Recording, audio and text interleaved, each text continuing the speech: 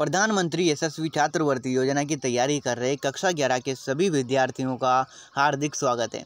आज हम देखेंगे दोस्तों आपके विज्ञान का थर्ड मॉडल पेपर इससे पहले हमने सोशल साइंस को पूरा कवर करवा दिया है चैप्टर वाइज तो आप सभी बच्चे उस सिलेबस को ज़रूर कवर कर लें और पूरा सिलेबस आपको कवर करना है, वरना आपका सिलेक्शन होगा ही नहीं, क्योंकि पूरा सिलेबस किए बना आपका सिलेक्शन कैसे होगा? तो आप चाहे अपने स्तर पर करें या किसी दूसरे की वीडियो से करें, कहाँ से भी करें, लेकिन अपना पूरा सिलेबस ज़रूर करें। आज हम साइंस पढ़ रहे हैं ये दो पाँच दिन में पूरा कवर हो जाएगा। इसके बाद हम मैथ शुरू करेंगे। तो कमेंट में मैथ मैथ मैथ ना करें। वो भी पूरा करवाया जाएगा। जाएगा जीके भी पूरा करवाया जाएगा। ठीक है? तो आप टेंशन ना लें। और दूसरी बात कि आज हम इस वीडियो में एक प्रश्न पूछेंगे जो कि कल ही वीडियो में हमने कवर करवाया था। कल की वीडियो में तीन चार ऐसे प्रश्न थे जो कि एग्ज़ाम में आएँगे ही आएँगे। तो उनमें से ही एक प्रश्न आज इस वीडियो में पूछूँगा, जिसको मैंने ट्रिक्स के माध्यम से याद करवाया था। और आज की वीडियो में भी चार पाँच ऐसे प्रश्न हैं जो कि मतलब मान के चलो एग्ज़ाम में आएँगे ही आएँगे। तो उनको भी अच्छे से ध्यान से समझना, वो मैं बता दूँगा इस वीडियो में, ठीक है?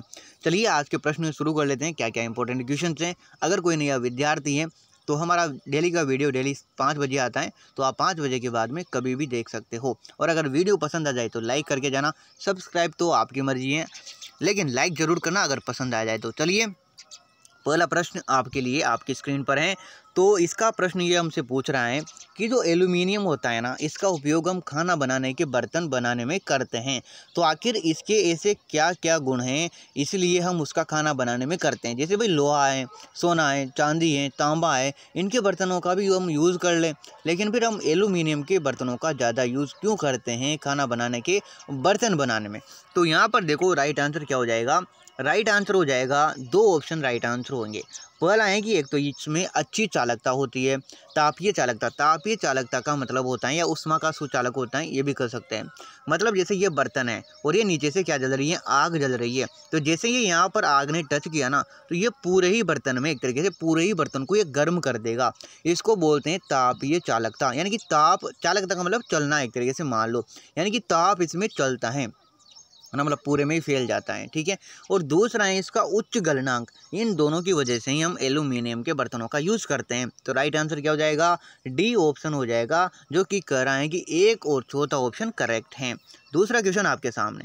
पृथ्वी की पपड़ी में सबसे प्रचुर धातु कौन सी है? अब दोस्तों, आपको वो कंफ्यूज करने के लिए धातु और अधातु में आपको उलझाएगा। तो आप प्रश्न को ढंग से पढ़ें, ध्यान से पढ़ें। वो कहे धातु, तभी इसका आंसर देना है। अगर अधातु कहें तो फिर आंसर कुछ और होगा। तो यहाँ पर राइट आंसर क्या हो जाएगा कि जो पृथ्वी की पपड़ी है, ऊपरी परत की सिर्फ़ ये बात कर रहे हैं, जो थोड़ी सी पपड़ी होती है ना, उसकी। पूरी पृथ्वी और ना ही ब्रह्मांड, ये बात नहीं कर रहा हूँ उनकी। पपड़ी की कर रहा है तो उसमें सबसे ज़्यादा धातु होती हैं एलुमिनियम। क्या होती हैं? एलुमिनियम। तो बी ऑप्शन अपना करेक्ट हो जाएगा। धातुओं में उष्मा का सबसे खराब चालक कौन सा है? तो राइट आंसर हो जाएगा सीसा। इसका मतलब ये है कि जैसे मान लो ये एक घर है, क्योंकि समझना भी ज़रूरी है दोस्तों, ये एक घर है। अब एक जिसे मान लेते हैं, लकड़ी जो है ना, लकड़ी, ये लकड़ी यहाँ पर रखी हुई है। अब आधी तो ये छाया में रखी हुई है, और आधी जो है ये बाहर रखी हुई है। सूरज की गर्मी पड़ रही है तो ये जो बाहर वाली लकड़ी है, ये तो गर्म हो जाएगी, लेकिन अंदर वाली जो लकड़ी है, वो ठंडी रहेगी, या फिर अगर गर्म भी होगी तो वो बहुत ही धीरे धीरे धीरे धीरे गर्म होगी। इसका मतलब है कि इसमें जो उष्मा आ रही है ना बाहर से वो इसमें बहुत ही धीरे धीरे चल रही है। अगर इसकी जगह लोहे की होती तो जैसे ही वो यहाँ गर्म होती ना तो तुरंत जो है मतलब धीरे धीरे मतलब इतना भी तुरंत नहीं, लेकिन धीरे धीरे वो यहाँ भी गर्म हो जाती। अब यहाँ पर क्यों हुई? जबकि ये तो ठंडाई में है, क्योंकि ये क्या है, उष्मा की सुचालक है, यानी कि उसमें उष्मा चलती है एक एक पॉइंट से दूसरे पॉइंट की तरफ़। तो इनमें से कौन सा ऐसा तत्व हैं या इनमें से को, कौन सा ऐसी चीज़ है जो सबसे खराब चालक है? मतलब जिसमें उष्मा मतलब बहुत ही धीरे धीरे चलती है। तो राइट आंसर इनमें से हो जाएगा शीशा यानी कि कांच में जो उष्मा होती है वो बहुत ही धीरे धीरे चलती हैं। समझ में आ गया ना? अगला क्वेश्चन देखो।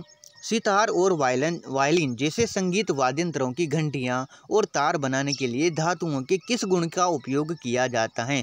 तो राइट आंसर हो जाएगा सोनोर सोनो रस किसका यूज़ किया जाता है? सोनो रसनेस आप ऐसे भी याद कर सकते हो। भाई जो म्यूज़िक होता है ना, संगीत है तो जो म्यूज़िक होता है, उसमें क्या होता है? रस होता है ना। तो रस से थोड़ा बहुत इसे याद कर लेना। ठीक है? अगला प्रश्न आपके लिए है कि निम्नलिखित में से कौन सी अधातु चमकदार होती हैं? बहुत ही ज़्यादा इंपॉर्टेंट क्वेश्चन और जिनमें पाँचों क्वेश्चनों की याद बता रहा था कि ये छपेंगे छपेंगे, उनमें से ये एक प्रश्न आपके सामने है। क्या पूछ रहा है? ध्यान से।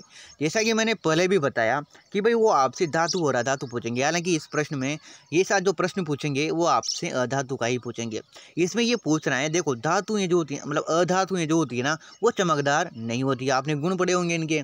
लेकिन एक दो धातुएँ ऐसी होती हैं जो चमकदार होती है। अब यानी कि ये अपवाद हैं। तो जो अपवाद वाली चीज़ें हैं ना, वही आपसे पूछेगा। तो बताओ इनमें से कौन सी अधातु हैं जो चमकदार होती है? तो बताओ क्या हो जाएगा? आयोडीन। आयोडीन क्या है? एक अधातु है। लेकिन फिर भी ये चमकदार होती हैं। जबकि अधातुएँ क्या होती है? चमकदार नहीं होती। तो आयोडीन क्या होती है? ये चमकदार होती है। आप इसके आ, इसको कैसे भी याद कर सकते हो। वैसे आप आयोडीन का मतलब एक तरीके से नमक समझ लेना। अब नमक जो होता है वो चमकता चमकता है ना जैसे आप उसको धूप में रख दो वो चमकेगा। चमकेगा कि नहीं चमकेगा तो ऐसे याद कर लेना कि भाई अब अपन ने अधातु कौन सी पड़ी थी जो चमकदार होती है तो आपको याद आ जाना चाहिए आयोडीन ठीक है? तो डी ऑप्शन अपना करेक्ट हो जाएगा। अब देखो आपसे इसे घुमा कर भी प्रश्न पूछेंगे उसको ध्यान से देखना। दोस्तों मैं आपकी प्रैक्टिस अभी ही इतना खतरनाक करवा देंगे कि मतलब आप एग्ज़ाम में जब ऐसे प्रश्न देखोगे ना तो आपको लगेगा कि हाँ यार इनको तो ऑलरेडी प्रैक्टिस अच्छे से कर चुके हैं है ना? जबकि कई सारे विद्यार्थी सिर्फ़ नॉर्मल तरीके से पढ़ रहे हैं कि भाई बताओ मतलब इसकी खोज किसने की इसका कौन सा ये होगा लेकिन आपको थोड़ा सा अलग तरीके से आ, आना है मतलब पढ़ना है ठीक है? अब देखो, ये क्या कह रहा है कि एक तत्व है, इस, इसको मान लिया इन्होंने एक्स उसका नाम नहीं दिया इन्होंने एक्स मान लिया उसको, कि एक तत्व है जिसका नाम एक्स है, जो कि नरम है, क्या है? नरम है, और उसे भाई साहब चाकू से काटा जा सकता है। ये हवा के प्रति, बहुत प्रतिक्रियाशील होता है मतलब हवा के संपर्क में आता है प्रतिक्रिया करने लग जाता है, और इसे हवा में खुला नहीं रखा जा सकता। ये पानी के साथ में भी तीव्र प्रतिक्रिया करता है। तो बताओ, निम्नलिखित में से कौन सा ये तत्व होगा? तो बताओ, कौन सा इनमें से तत्व होगा? इसकी देखो इतनी सारी जो हैं, आपको फैसिलिटीज़ बता दी मतलब क्या बोलते हैं इनको एक्सपर्टीज़ बता दी या इनमें से इनकी विशेषताएँ बता दी। तो आप में से इनमें से कोई सा भी प्रश्न पूछ सकते हैं। जैसे बताओ ऐसा कौन सा तत्व है जो हवा और पानी के प्रति बहुत ही ज़्यादा प्रतिक्रियाशील है? ऐसा कौन सा तत्व है जिसको हवा में खुला नहीं रखा जा सकता? ऐसा कौन सा तत्व है जिसे चाकू से काटा जा सकता है?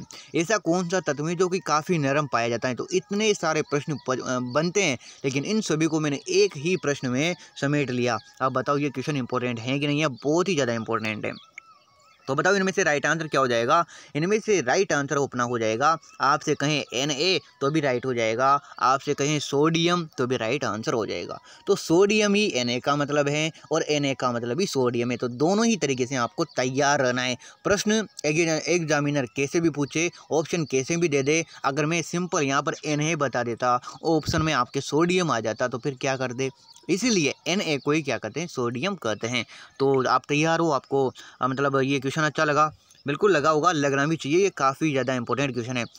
चाकू से किसको काटा जा सकता है, पूछेंगे ही पूछेंगे आपसे तो बताओ किसको काटा जा सकता है, सोडियम को। नरम क्या होता है? सोडियम।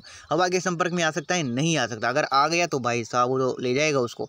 जैसे होता है ना, कई सारे मतलब लड़कियाँ लड़कियाँ होती हैं भाई साहब, उनको बाज़ार में छोड़ दो तो भाई साहब फिर तो है ना? तो वैसे ही ये भी होता है सोडियम, ठीक है? मतलब ये तो बाहर आता है, फिर कांड करेगा ये? दूसरा प्रश्न आपके लिए है, लेकिन इससे पहले एक प्रश्न पूछ लेते हैं, जिसको मैंने कल के वीडियो में कवर करवाया था, और ये भी, वो भी ऐसे ही एग्ज़ाम में आने वाला, छपने वाला प्रश्न है। तो उसका जवाब सभी विद्यार्थी दें।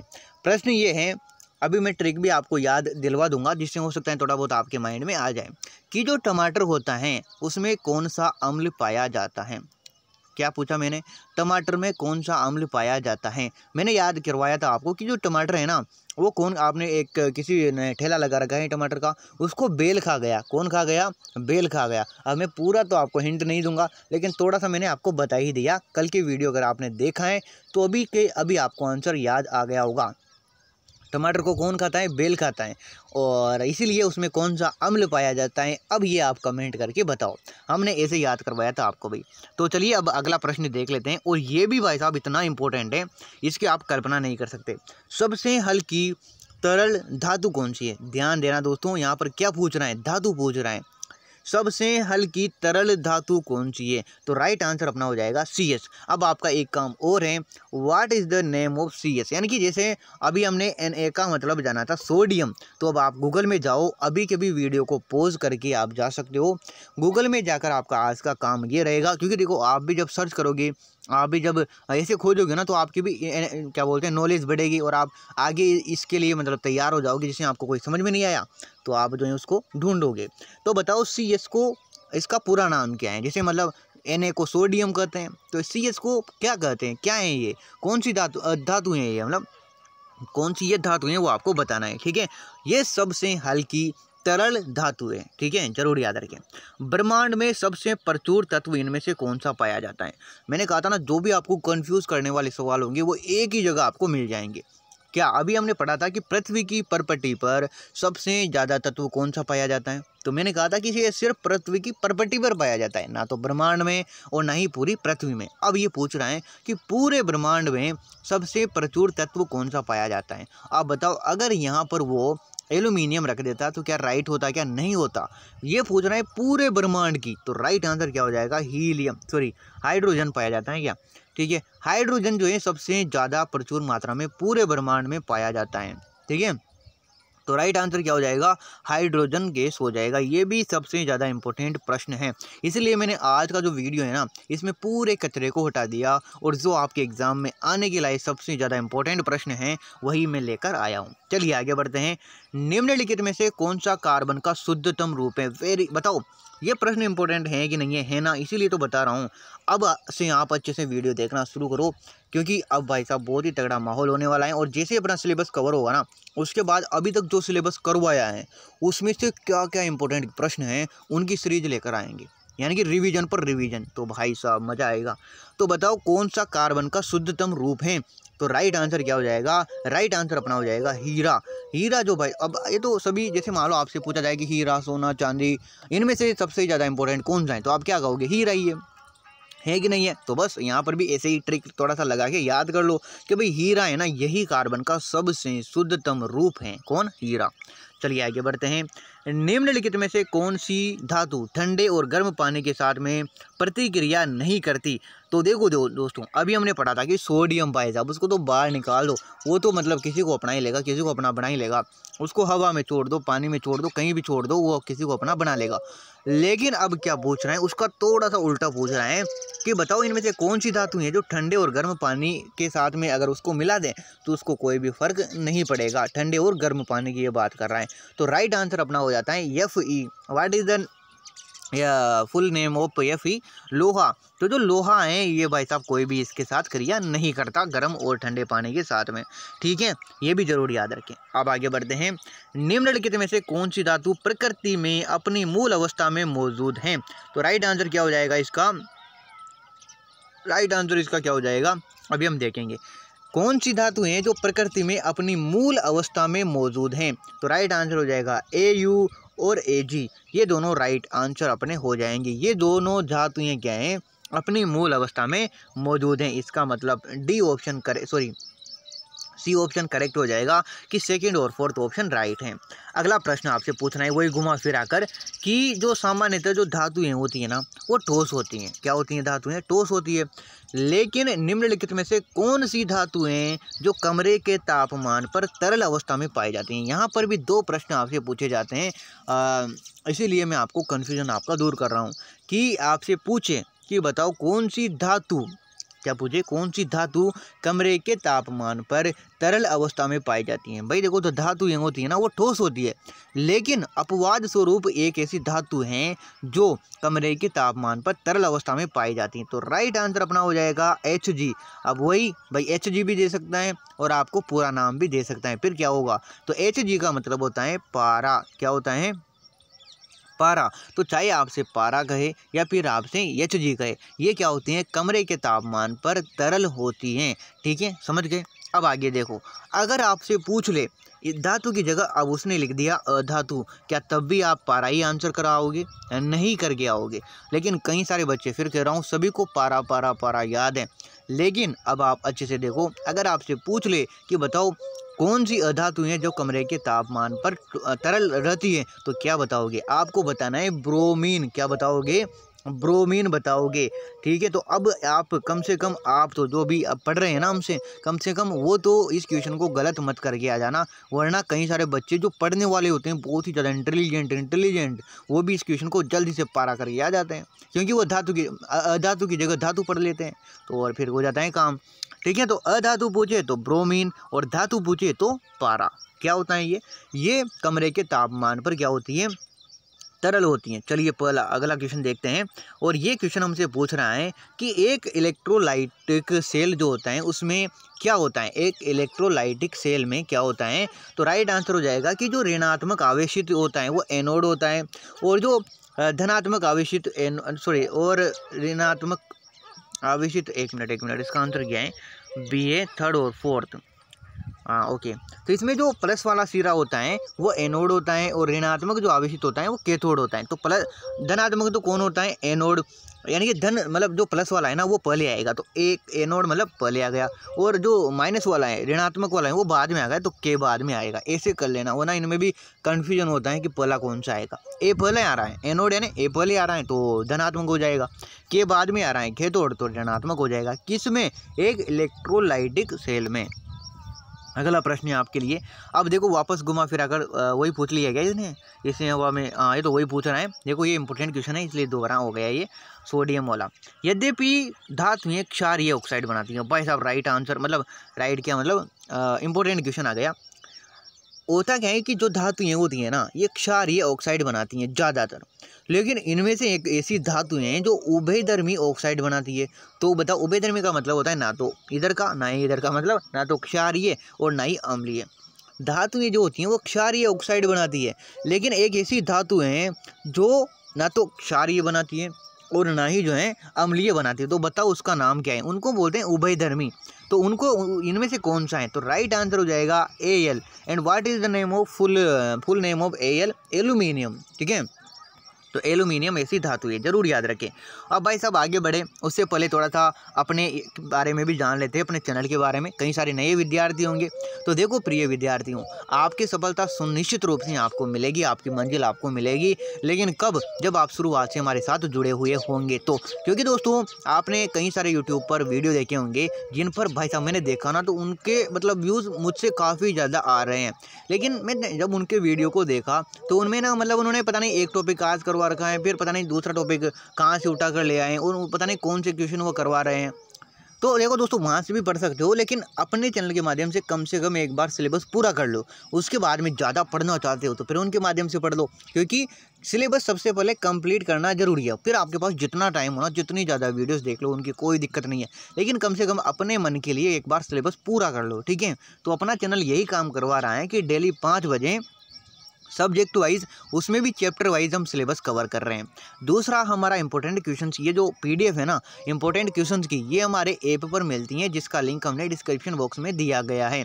तो आप ऐप पर जाकर जो भी इंपॉर्टेंट क्वेश्चन है, उनको रिवाइज मल्टीपल टाइम ज़रूर करें। ऐसा नहीं है कि आपने आज दो, एक दो घंटा पढ़ लिया तो सोचा कि और आज तुम्हें बहुत पढ़ लिया।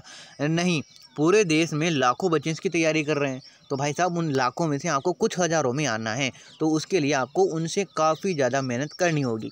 अगला है, हमारे चैनल पर जो साप्ताहिक टेस्ट लिया जाता है वीकली टेस्ट लिया जाता है संडे को, उसको ज़रूर दें। कल भी हमने वीडियो में बताया था कि किस किस बच्चे ने फ़र्स्ट सेकंड और थर्ड रैंक प्राप्त किए हैं कितने कितने नंबर उनके आए हैं। तो आपको टारगेट लेके चलना है कि कम से कम हम जो टेस्ट ले रहे हैं ना, उनमें आपके नाइन्टी परसेंट से ज़्यादा बने, तभी जो कि आपको वहाँ पर अच्छे से एट्टी फाइव परसेंट उससे ज़्यादा बना पाओगे। इसलिए आप टेस्ट में अच्छा स्कोर ज़रूर करें। अगला है कि चौबीस घंटे आपको सपोर्ट मिलता है, ये तो करने की बात नहीं है है ना? तो ये उनचास रुपये में आपको मिलेगा। कहाँ पर मिलेगा? R B S C by Sunil K Patan ए पर, जो कि काफ़ी अच्छे से आपकी तैयारी करवाने में आपका सहयोग कर रहा है। तो आप इसको ले सकते हो, कोई भी प्रॉब्लम आती है तो आप कमेंट में बता सकते हो। वहाँ ऐप में भी चैट का ऑप्शन है तो वहाँ पर भी आप हमसे मैसेज करके बता सकते हो। चलिए आगे बढ़ते हैं। अब देखो एक और भी आपसे वे हैं कि जो अपना आपने दसवीं में पढ़ा होगा ना, एलकाइन, एलकेन, एलकिन, ये तीनों चीज़ें आपने पढ़ी होगी। तो जो एलकेन, एलकिन और एलकाइन है, इन तीनों के जो सूत्र होते हैं, आप सभी बच्चों को याद कर लेने हैं, ठीक है? आप सभी बच्चों को क्या करना है, इनके तीनों के सूत्र आपका अभी कॉपी पेन लेके बैठा करो। जो भी अगर मैं ट्रिक बता रहा हूँ, भाई वो आपको हो सकता है याद रहे, ना रहे, उनको लिख लिया करो। दूसरी बात कोई भी मैं एक्स्ट्रा चीज़ बताऊँ तो उसको भी लिख लिया करो। तो आज आपको दो काम मैंने एक पहले पहले ही बता दिया और एक अभी और बता रहा हूँ कि आपको एल्केन एल्काइन और एल्किन तीनों के सूत्र याद करने अभी मैंने इस वीडियो में नहीं आ, उनको लिया है क्योंकि इनमें वो लिखने में ना आ, जैसे होता है C N H two N plus two ये है ना ये लिखने में थोड़ा सा दिक्कत होती है मतलब ये ये अच्छे से लिख ही नहीं पाता इसमें मोबाइल है इसलिए। तो आपको क्या करना है खुद को जो है अपनी किताब में से या गूगल में या मिल जाएँगे। एल्केन, एल्काइन और एल्किन। इन तीनों के सूत्र आपको याद करना है। वैसे बहुत ही सिंपल है। एक को याद करो, फिर सभी याद हो जाएँगे, ठीक है ना? तो इनको ज़रूर याद करें। खैर, आगे बढ़ते हैं कि एल्काइन स्वजातीय श्रृंखला का पहला सदस्य कौन है? जो एल्काइन होता है ना इसका पहला सदस्य कौन होता है? तो राइट आंसर हो जाएगा एथाइन। भाई, सबसे पहले क्या आता है? एथ, मेथ प्रोप ऐसे ही तो आता है ना? तो एल्काइन से क्या बनेगा? आइन आना चाहिए पीछे तो एथाइन।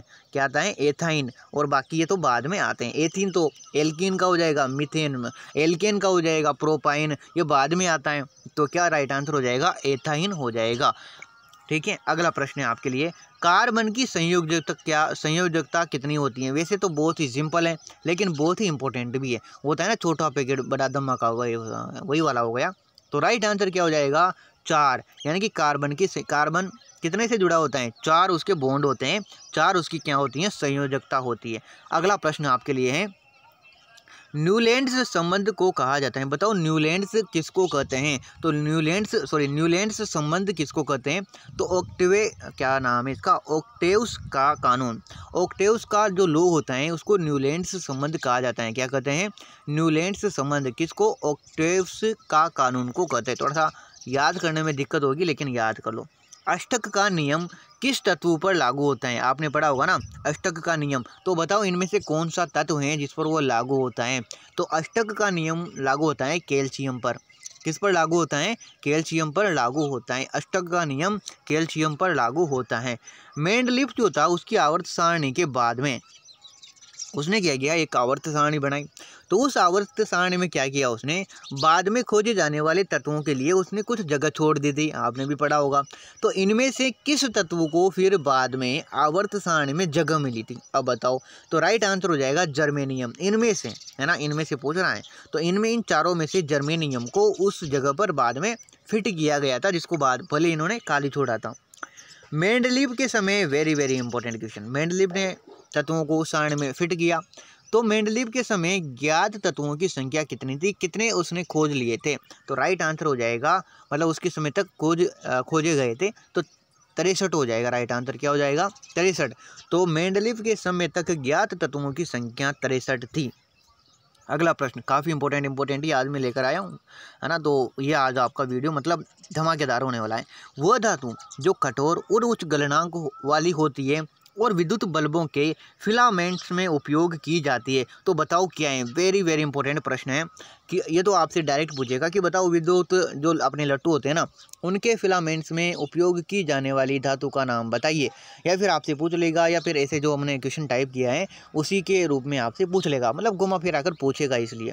तो राइट आंसर अपना हो जाएगा डब्ल्यू अब आपका तीसरा काम ये है कि what is the full name of W what is the full name of W जो धातु है इसका पूरा नाम क्या है? तो देखते हैं कितने बच्चे जो हैं।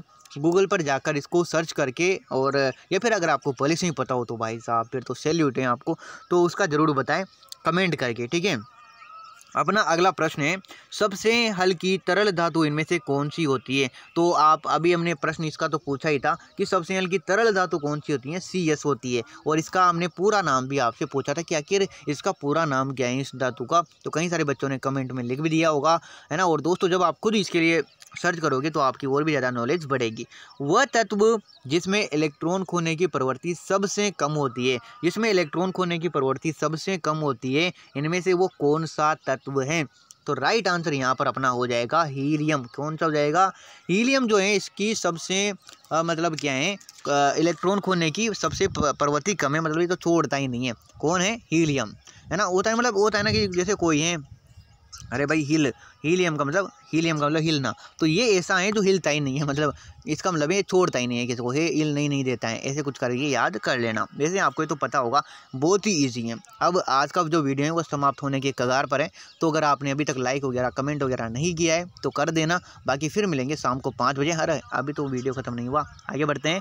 मतलब दो क्वेश्चन हो रहे और ये बच्चे, जो बच्चे मतलब अभी तक टिके हुए हैं तो भाई साहब आपकी काबिल तारीफ़ है, क्योंकि यहाँ तक टिकना और किसी बच्चे के बस में नहीं है, लेकिन आप टिके हुए हो, इसका मतलब आपको एक मतलब उन सभी बच्चों से बहुत ही ज़्यादा चाह है कि आपका एग्ज़ाम क्लियर हो जाए आप जो है मतलब इसमें स्कॉलरशिप के लिए आपका नाम आ जाए तो मेरी तो पूरी पूरी जो कोशिश रहेगी कि आपका नाम आए आए क्योंकि आप इतनी मेहनत कर रहे हो तो डिज़र्व करते हो इसके लिए कि आपको ये स्कॉलरशिप मिले। तो चलिए आज का सेकेंड लास्ट क्वेश्चन देखते हैं।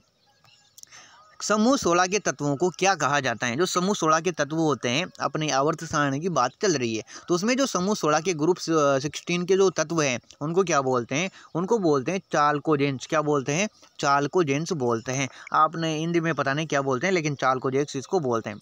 अब दो प्रश्न और रह गए हैं, इनको पढ़ लेते हैं।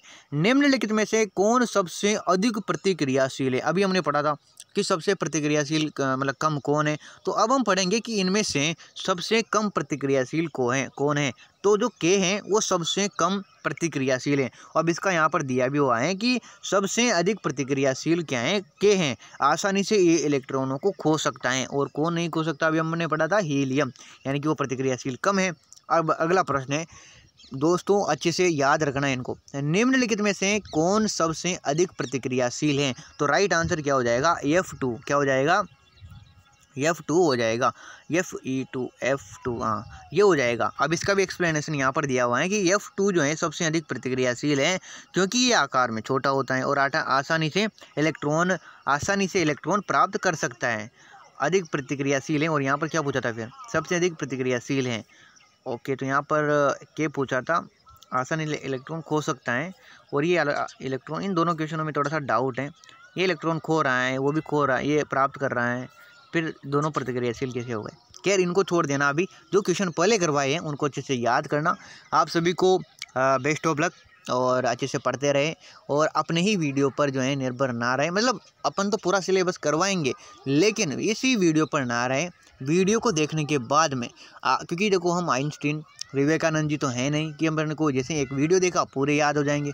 वीडियो देखने के बाद में जो पीडीएफ है या फिर आप खुद भी नोट कर सकते हो, कोई ज़रूरी नहीं है। तो जहाँ से भी आप करना चाहो, लेकिन इनको ज़्यादा से ज़्यादा ज़्यादा से ज़्यादा रिवीजन करो। आपको लगे ना कि नहीं भाई साहब, अब तो मैं बिल्कुल मेरे दिमाग में बैठ चुके हैं, कोई बात नहीं। तभी भी इनका रिविज़न करते रहो, जहाँ तक करते रहो, जहाँ तक आपको आपकी मंजिल नहीं मिल जाती। विवेकानंद जी ने कहा था ना कि भाई उठो, जागो और तब तक मत रुको, जब तक आपकी मंजिल मतलब जब तक आपको सफलता ना मिले। तो वही बात है कि जिनका रिवीजन तब तक करते रहो, तब तक आपको अपना जो है इसमें सफलता नहीं मिल जाए या एग्ज़ाम इसका नहीं हो जाए। आपको लगे ना कि अपनी क्लास के तो कोई नहीं पढ़ रहे हैं तो भाई साहब मेरा तो सिलेक्शन श्योर है। नहीं है। भाई साहब अपनी क्लास से अपने को कोई लेना देना नहीं है। क्योंकि हमें अपनी क्लास से थोड़ी ना मतलब कंपटीशन करना है। हमें किससे कराएँ पूरे देश से। तो भाई साहब पूरे देश में तो कितने बच्चे हैं? तो इसलिए अपनी क्लास की तरफ़ मत देखो। पूरे जो अपने बच्चे हैं पूरे देश के उनकी तरफ़ आपको देखना है। ठीक है? तो आप सभी को हमारी आ, मतलब बहुत बहुत शुभकामनाएँ, बहुत शुभ शुभकामनाएँ कहाँ से भी मतलब बेस्ट ऑफ़ लक आप सभी को, ठीक है? तो मिलते हैं नेक्स्ट वीडियो में, तब तक के लिए thank you so much video को लास्ट तक देखने के लिए।